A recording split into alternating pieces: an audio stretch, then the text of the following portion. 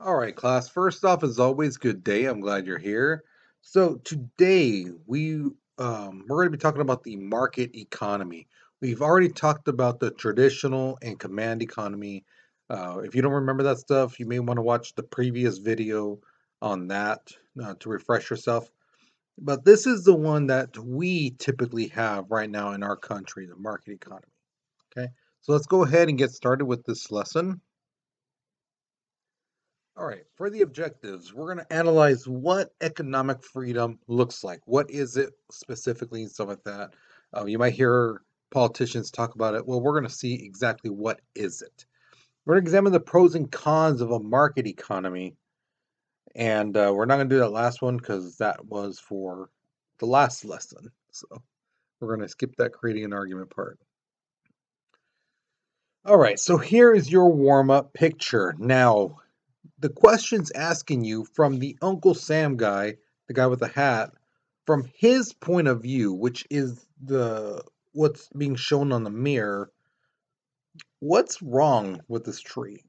To him, what's what, what's wrong with the tree? What makes it look like different than the way it really is? You know. So think about everything. Look at that the picture of the mirror you know, the tree in the mirror and look how it really looks like. Okay. Now, if you have your phone, it might be hard to see um, certain things on the tree, on the mirror, um, but try your best. Try to, you know, bring it up close, things like that. Okay. Um, but yeah, that's what you're doing. Okay. So go ahead, write your response to that. Okay. Pause the video because we're moving on in three, two, one. All right, so market economy. This is basically people's decisions acts as votes when it comes to the market. So think of it like this. When you decide you want to buy a soda, let's just say for example, you decide to choose Pepsi over Coca-Cola. Basically, you're casting your vote saying I want this over this. You know, I'd rather have a Pepsi than a Coca-Cola. And the more votes something gets, the more that company will produce it. So let's say you decide you want a Pepsi. Okay, cool. Now which flavor? There's regular, diet, there's cherry, there's, you know, various forms. So let's say you pick cherry Pepsi. Well, now you're telling that company, I like this, make more of it. And the more people, you know, buy it or vote for it, in a sense, the more that company's like, hey, people are really liking this. We need to make more of that. Um, another great example is like the NFL, right? They sell jerseys like crazy. Okay. Uh, before Tom Brady was like the number one seller, and now he's gone down. So now it's like people like Jalen Hurts, Josh Allen, Patrick Mahomes. These guys are now up there. That's telling the when people buy their jerseys, that's telling the NFL the people like this guy. So maybe we should show their games more on the primetime games. You know, it's telling the company that makes jerseys make more of their jerseys because those are selling. You know, I hate to say it, but like David Carr, you know, um, that guy Lance for the 49ers, they're not selling their jerseys as much because why? Carr's not doing too well, and that guy Lance got hurt. So they're not making those jerseys as much because no one's buying them. People are buying more Garoppolo than that guy Lance because Garoppolo is actually playing and he's doing well. So, yeah. Okay. So, you as people, the consumers, play a large role when it comes to what is made, what continues to be made, and what gets discontinued. All right. So, the pros to a market economy number one, it can adjust quickly. So, again, like I was saying, if a company creates something like a you know jelly beans make a flavor that takes tastes like dog poop. If people don't buy it they're going to stop making it because again they don't want to waste their time their their resources their money on something that's not going to give them money that people are not going to buy. So they'll stop it quick fast in a hurry and adjust and change to make another flavor. Okay. The other thing is it's a high degree of individual freedom, meaning you can buy whatever you like. You're not limited to a certain selection, a certain group of things. You could buy whatever you want, as much as you want, things like that. Now, let's say you want to make something. You're free to make whatever you want to sell, as long as you believe, you think it will sell. So I gave the example in class. If someone made a bicycle that slaps someone across the head every mile, you know, is that going to sell? Eh, not really, right? It's not really going to sell, but it might sell a little. But hey, that person who made that bike who's selling it, they have that freedom to make it. All right. The other thing is, under a traditional market economy, the government gives little interference. They don't really meddle in what the economy is doing. They just let the economy go and that type of thing. You know, so as long as businesses are making money, they're cool. The next one, decisions are not in the hands of the few. Okay, we kind of talked about this a little bit. In the command economy, yeah, the government, you know, however many people there are, they control what's being sold. They say, you know, the people will like this flavored coffee. Whereas in this economy, again, your decisions are the deciding factor. So everybody chooses and not just a handful of people chooses. Okay. The next one, a large number of goods and services. Okay. Again, think about the fast food places that sells hamburgers. You know, we did this in class a couple months ago. I gave you guys like 10 seconds, and most most classes got about eight, nine, name nine, nine, eight or nine places.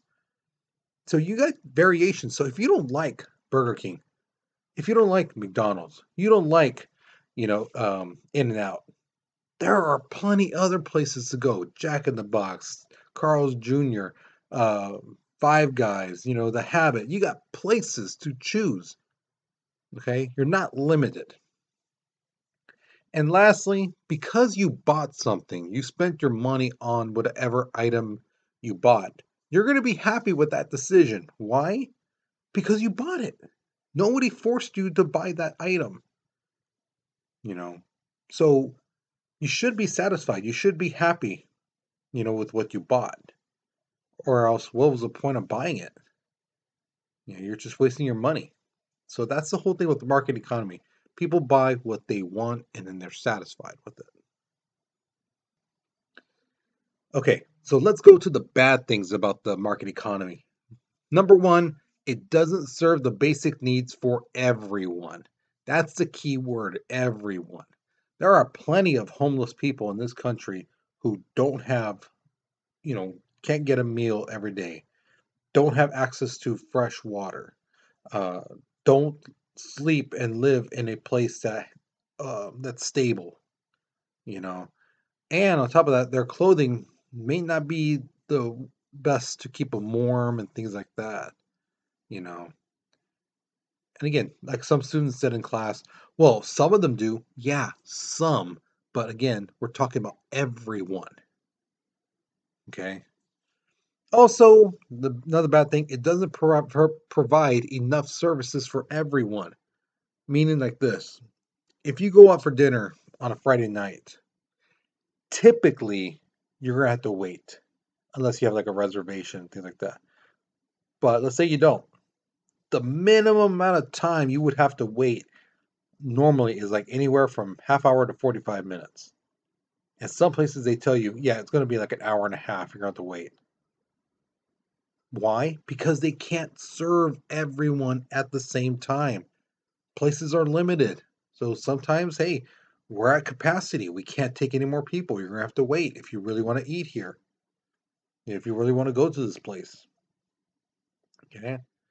The other one is there's a high degree of uncertainty for workers and businesses when change happens. Now, what are we talking about? Well, a great example was in 2020 when COVID hit. There was a lot of people, a lot, a lot of people, a lot of workers who did not have money saved up. You know, There's a lot of people who did not have money saved up. So when it hit and they end up losing their job because you know they're not opening up, um, some people were really hurting. Like, I don't, I don't have any money coming in. I hear I hear the stimulus next stimulus package thing is coming in a couple months. How am I gonna make ends meet? You know, how am I gonna buy food? How am I gonna do this and that, pay the rent? So some people were really hurting. Same thing with businesses. There are some businesses that were like, oh, we'll be fine. It, during the summertime, the disease will get burned out just like the flu because it's so hot outside. We'll be fine. And that didn't happen. So a lot of businesses went under. You know. Lastly, it, the market economy can fail if three conditions aren't met. Number one, reasonable competition. So let's say the whole entire country, there's only two fast food places to get food. Let's say there's like Chipotle and Long John Silver. All right. I don't know about you, but I don't really like those places. The only thing I like from one of them is Long John Silver's, the Hush Puppies. That's about it. So that's the only thing I would probably get if I wanted to eat. But some people just don't like either one of those places. So they're like, oh, what choices do I have? What other choice do I got? Nothing. And if that's the case, there's only like two options. And if you don't like both of them, you're not going to be satisfied with those choices or what they're having to offer. Okay, so your chances are you're not going to spend your money on either place. All right. Resources must be reasonably free to move from one activity to another. And lastly, consumers need access to adequate information so they can basically decide where should I go to buy this item. Should I go to Target? Should I go to Walmart? Should I go to uh, Best Buy? You know, sh- should I go online? You know, where should I go to buy, so let's say TV? You know, that's why right now with the Thanksgiving coming around and Black Friday, some companies are already releasing the information on their ads. You know, we're selling a 44 inch TV for 100 bucks, you know, and all these other places are doing that same thing because they want you to have enough information so where you can be like, you know what, I'll yeah, I'll, I should go to Best Buy to buy this computer, this laptop, and Target, yeah, that that price on the air fryer, man, that's a really good price. I can't beat that. I should go there and get that. You know, that's why they do that kind of stuff. So, economic freedom, what does this mean? Well, it means you get to choose. Now, what kind of things you get to choose? Number one, where you work. Nobody puts a gun to your head saying, you gotta be a dentist, you gotta be a farmer, you gotta be uh, a barber. You know, no one's going to do that. Okay. Now, on the flip side, the employers, they also have the right not to hire you if they don't want to. I've had a lot of students in the past tell me, Oh, Martinez, I went for a second interview and I didn't get chosen. Why? I don't know. I didn't, I wasn't there. I don't know oh, that's stupid. I went for a second interview. That, I should have got the job. So just because you got a second interview means you the guaranteed you should have got the job. You know, either way, regardless how the interview went. That doesn't make sense. But again, the employers they got the right to choose who they want to work for them. Okay. The last one is the use of money. You get to choose how you spend your money. If you want to buy a new phone, sure. If you want to buy new shoes, awesome. Uh, no one's going to be over your shoulder telling you, hey, save that $500. Don't spend it. Keep it. Keep it. Don't spend it. No one's going to do that. It's up to you to decide. But this does play a factor later on next semester when we talk about money management. You know, because some people just figure, oh, I have a hundred bucks in my pocket. I got to spend it. No, you don't. No, you don't. You don't have to spend your money on anything you don't want to. Just because it's sitting in your pocket, let it sit there. Just because it's in your bank account, let it be in your bank account. Okay? You do not have to spend that money just because you got it. Okay.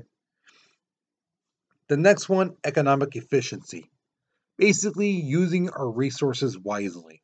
Because, again, we don't have an unlimited amount of stuff. We're all we're limited in everything fresh water, food, lumber, steel, metals, you know, medicine, everything we are limited on. So that's why it's it's important that we don't waste what we have.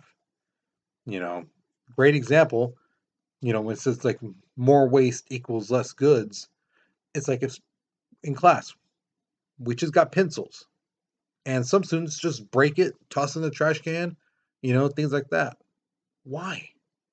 You know, break off the eraser and things like that. Why? Somebody else could have used that pencil. They could have used that pencil for another class. So when they go to another class and they're like, "Oh, we're out of pencils," oh, how come you guys don't have no pencils? Well, because people like you are the ones who break it. So stop breaking it. You're wasting that pencil. Think of how many papers you could have wrote with that one pencil. How much work could have got done with that one pencil? But just because, hey, I want to break it, you're wasting it. Okay? So that's the thing. That's what it means. When you waste, there's less. Okay? The next one economic security, protection from layoffs and illnesses. Okay, guys, I'm going to tell you this too. I said in my other classes, I'm going to tell you guys too here on this lecture video. I had a student some years ago tell me, Mr. Martinez, how come I can't get uh, unemployment benefits? Like, I don't know. Have you applied? Yeah, I applied. They tell me I can't get it. Where did you work before? Well, I've never worked before. How can you expect to get unemployment benefits if you've never worked before? Okay? I know it sounds like common sense, but apparently I do have to mention this because this was a legitimate thing a student asked me. If you put into the system, you can get from the system. If you don't put into the system, you don't get anything from the system. And what I mean by that is like paying your taxes. So for people, because I have I've had a lot of students back when I was here in Tulare, even to where I'm at, at with you guys at Carter G. I've had a lot of students tell me I get paid under the table. You know, oh, I'm making a lot of money because I'm getting paid under the table. Okay, but here's the thing though if you lose your job and you're like, well, I had a job, you know, working in construction, or I had a job working at a car dealership place, you know, auto, you know, repair place, you can't get unemployment because you did not pay your taxes on that. And you can get a lot of trouble. Okay. Again, like I say, if you try to buy a car, $54,000 car, and you pay cash, that's a huge red flag. How do you get that money? How do you get that money when you don't have a job? Big red flag. Huge red flag. Okay? So yeah, as a side hustle, sure, it's it's an okay thing, right? But as a job, job, job, getting paid under the table is not good, guys. I'm telling you. Okay. Next thing, insurance plans. Right now, you're young. You're like, why do I care about insurance? What, what, when do I need this? Some of you guys will need it sooner than others, especially if you have kids. You know, you are going to try to find jobs that offer insurance plans because they cover injuries and illnesses, especially with little kids. Kids get sick all the time. You know, so it's imperative that you have insurance. Okay. The next thing, Social Security. It's a federal program. Originally, it was created to help people who were disabled or really old and couldn't work anymore. And what I mean by disabled, it's like they got hurt on the job they're ment- uh, mentally or physically disabled where they can't work anymore. You know, so that's what Social Security was for. Same thing with the retirement. People got too old where it's like, hey, you're 80 some years old, you know, you can't lift these 60 pound bags, you know, anymore, like of like concrete. Can't do it anymore. You know, 90% of Americans get Social Security. Okay. And the last thing is Medicare, basically health coverage for people 65 or older. So if you have someone in your family who's 65 or older, you know, and they haven't signed up for Medicare, make sure that they get that done because it will help them with doctor visits and, um, you know, medication and things like that.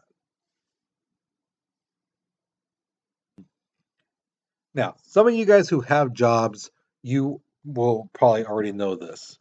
But full employment is amazing. When you work full time, that means you have more security to provide for yourself, your family, who else, whoever else is depending on you. Okay.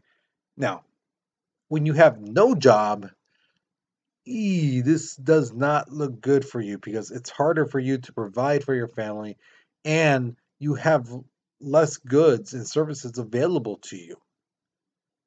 You know, because again, in a market economy, you have to pay for things.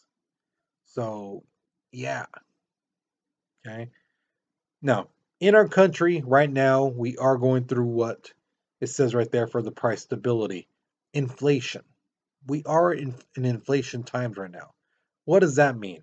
It means it's a rise in general level of prices things are getting more and more expensive.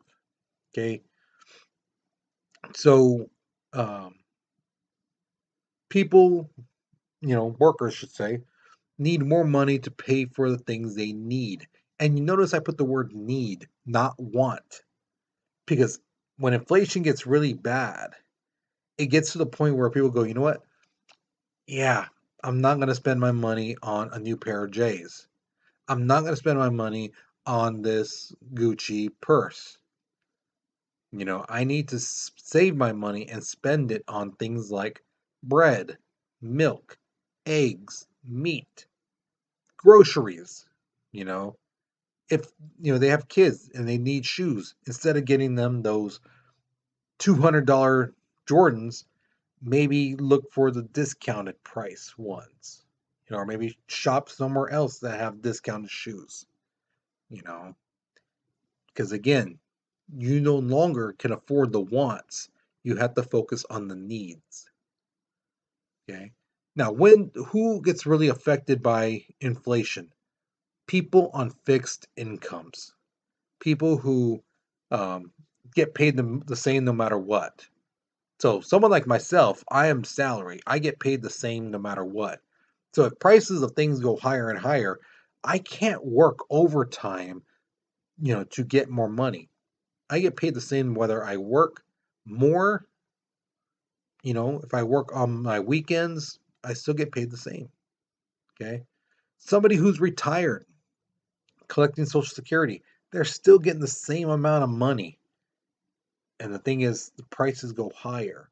And sometimes, you know, these older people, they got to decide you know, am I going to, you know, have to like save my money to buy some food, or am I going to like gonna have to like you know pay the rent? You know what, what am I gonna do with my money? Because they can only have so much, and price of things go higher and higher, and they can't afford it. So when do we know we're out of an inflation? Well, there's not like there's somebody with a sign saying, hey, we're out of inflation. No. Basically, it's when people have enough money that they're able to buy their wants. You know, people now have money so they can buy the newer cars, the better clothing, um, buy a new home, you know, buy electronics, buy a new TV. You know, do they really need it? No, no, they don't. But hey, now I have prices come down and excuse me, now I have more money, I can buy things I actually want. That's how a nation knows. And it's not just a little town or even a state. It has to be the whole country. that this is happening to. And that's when they will say, okay, we're out of an inflation time because now people are buying what they want. Now, a volunteer market is when the buyers and sellers freely and willingly engage in some type of transaction, meaning here's my money, I want that. Let's exchange. Okay. Um, the thing is, uh, I've said this in every single class. Just because you go into a store, it doesn't mean you have to buy something. Okay. Now, a student did ask me, well, how come some stores say in order to use the restroom, you have to buy something? That's a store policy. That's something totally different, you know, because they don't have to allow you to use the restroom. Okay. That's the store's policy saying, yeah, you have to buy something. You have to be a customer in order to um, use the facilities. Okay. Uh, but you don't have to feel obligated like, oh my God, I came into the store. I got to buy something. No, you don't. Not at all. So don't ever feel like you have to. It's not like they're to close the doors and be like, you came in here, you got to buy something. No, they're not to do that. Now, how do you know you made a good deal? Basically, you feel better afterwards. You're happy, like, hey, I gave them my money, I got this item, I'm happy. When both sides feel that feel that happiness, they're better off than they were before, that's how you know it's a good deal. Okay? The next section is really interesting. It's private property rights. Typically, when we talk about private property, people think about homes. Yes, that is one thing, it is a tangible thing, but uh, private property can be more than that. Now, let's say you buy a brand new pair of Jordans, right? And you decide, you know, I'm going to spray paint half of it purple. Michael Jordan and his and his executive people cannot come over and say, "Hey, hey, you can't spray paint those shoes. That's not the way we designed them." Um, you can do what you want with them because you bought it. Okay. Now, I want to be clear with this because the student was asking me in class. Well, I heard some people sue a company because some because of this and this and that about it. Okay, when you take a phone, let's say you have this phone, right? If you decide to take it apart and try to make it better, okay, and it doesn't work anymore, this is your phone. You bought it. You tried to alter it and it doesn't work anymore. That's your fault. What a lot of people try to do is they try to make it better and they then say, oh no, this company that made this phone, they made it bad. And it's honestly not that hard for them to see, like, hey, yeah, someone tried to change this, someone tried to take this out, someone tried to open this casing. You know, that's not what the company does. You know, they they know we don't deal with that. That's all computers, electronics that seal all that stuff in. That's not really people touching that stuff. So robot's not going to try to pry open uh, a hard drive. A person is. Okay. So when you buy something and you try to alter it and try to blame the company, that's what people that's what people um, go to court for about things. You're saying, "Oh no, this is defective," and it's not. They tried to change it, and then try to blame the company when it doesn't work anymore, or it explodes, or catches on fire, things like that. Okay. Now, private property again is not just tangible things, things you can touch. It can also be your skills and talents. So let's say you're a really good mechanic. You know how to take out an engine, take it apart, clean up the pistons, you know, align them and things like that, right? Nobody can put a gun to your head saying, You have to be a mechanic. You're really good at it. You should do that for a job. No, no one can do that. What you do with your skill, it's up to you. If you want to use, do it that as a job, fine. You want to do it as a uh, side hustle, fine. You just want to do it as a hobby, fine. Okay, that's your private property. That skill, that talent, that's yours. and nobody can tell you what to do with it. Okay. The last one, profit profit motive. That's basically anything that is your goal. So let's say you're like, man, I want to get that new 2023 F-150 truck. So you're working, you save money, things like that. That truck is your profit motive. Now, does it always have to be something big like a house or a car, you know, things like that? No, absolutely not. It could be something as, say, a soda. You're like, man, I could really use a soda, but I don't have any money.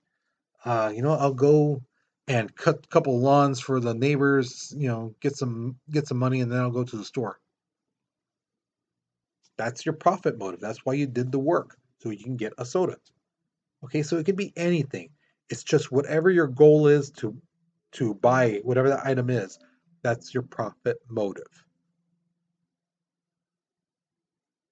So here is your question. Now, in this question, I, when I talk about private property, I'm talking about actual land. Okay. So when it says, do you believe that private property should be a right or a privilege? I'm talking about land. So should everyone, from kids to homeless people and everyone in between, should everyone have the right to own property?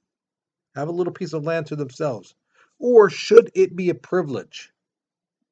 You know, that hey, you have to earn the money for it to buy this and things like that. It shouldn't be given out to everyone. Okay? So what do you think? Should everyone have a little piece of land in this country to do what they want with it? Or should it be a privilege? So think about it, write your response. Okay. Once you're done with this question, you're done with this lesson. Okay. Hopefully, you guys learned something new. Hopefully, you enjoyed it. All right. So, you guys, you take care, you be safe, and I'll see you guys later. Okay.